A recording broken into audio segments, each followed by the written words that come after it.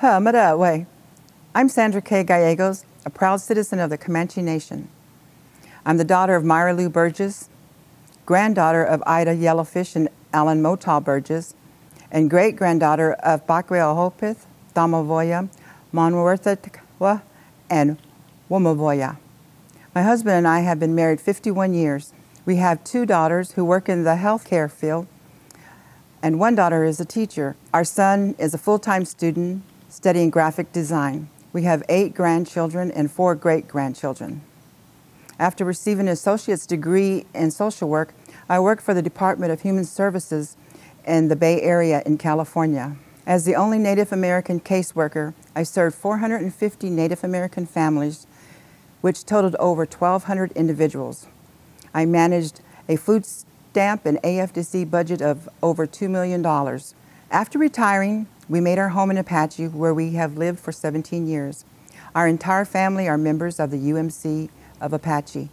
I'm a member of the choir. We enjoy singing our tribal hymns and spiritual filled songs, and I'm also involved with the Native American Church.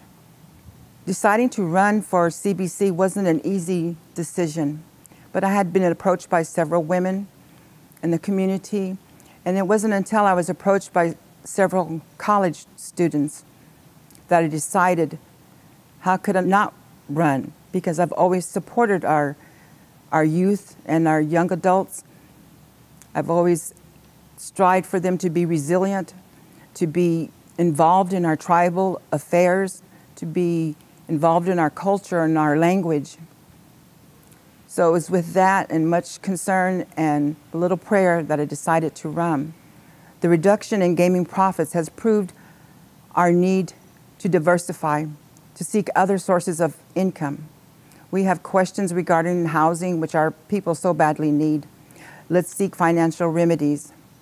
The voting procedure needs to be addressed.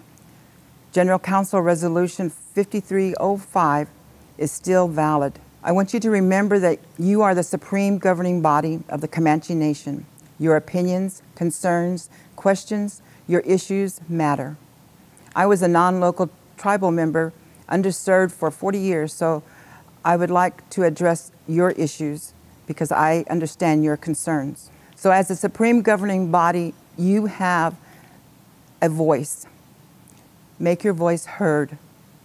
I would appreciate your vote on December the 5th. Ara.